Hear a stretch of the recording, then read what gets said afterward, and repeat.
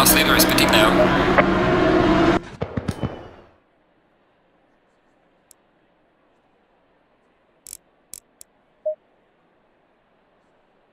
Stay in double file.